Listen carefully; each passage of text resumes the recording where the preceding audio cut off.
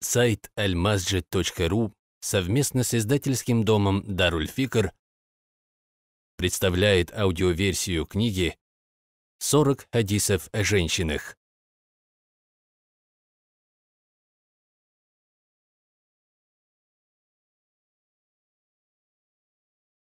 Двадцать пятый хадис. Не обижай мужа. От Муаза, да будет доволен им Аллах, передается, что пророк, алейхиссалату вассалям, сказал, «Каждый раз, когда жена как-то обижает мужа, то его жена из числа гурий говорит, «Не обижай его, да погубит тебя Аллах. Поистине, он у тебя гость, и, возможно, весьма скоро он оставит тебя, придя к нам».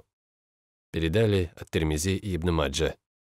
Это другая сторона вопроса касательно того, что надо терпеть недостатки жены.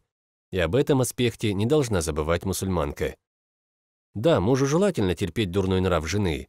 Да, он будет получать награду за свое терпение. Да, он должен искать ей оправдание. Но что будет с женой в этой ситуации? Жену будут проклинать гурьи в своих дуа. Автор Тухватуль Ахвази говорит, «Гурьи — это женщины для обитателей рая, и у них ослепительно черные глаза». Автор толкует слова хадиса «Он у тебя гость» так. «Он как гость у тебя, и ты его на самом деле не заслуживаешь и мы достойны его, и быстрее бы он оставил тебя и присоединился к нам. О красоте этих гурий передается хадис от Табарани. От Саада ибн Амира я слышал, как посланник Аллаха, алейхиссаляту вассалям, сказал, «Если женщина из обитателей рая почтила бы эту землю своим присутствием, то земля заполнилась бы запахом благовоний, а свет солнца и луны померк бы. Если жена будет знать, что каждый раз, когда она ведет себя со своим мужем неподобающе, за ее спиной красавица говорит «быстрее бы твой муж достался бы мне», то, наверное, это повлияло бы на ее поведение, и она подумала бы несколько раз, стоит себя так вести или нет.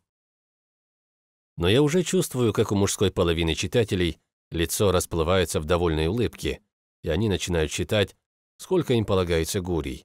Но кто тебе сказал, что ты попадешь в рай? Разве ты не знаешь, что верующий никогда не чувствует себя в безопасности в плане своей участи? У тебя есть откровение о том, что ты умрешь с иманом?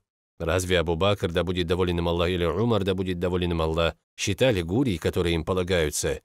Или, может быть, Али, да будет доволен им Аллах, этим занимался? Эти хадисы, в которые мы верим, служат устрашением для нас, чтобы мы задумались и начали менять свое поведение. Но это не оружие, которое надо использовать против супруги. И в конце мы приведем два хадиса, которые указывают на гармонию. От Ум Саламы, да будет доволен ее Аллах, передается.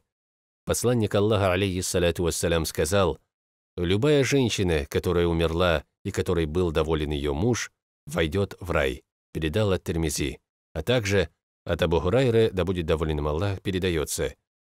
Посланник Аллаха, алейхиссалату вассалям, сказал, «Самый совершенный верующий – это тот, чей нрав наиболее совершенен, а самые лучшие из вас – это те, кто лучше всех относится своим женщинам», – передала Термизи.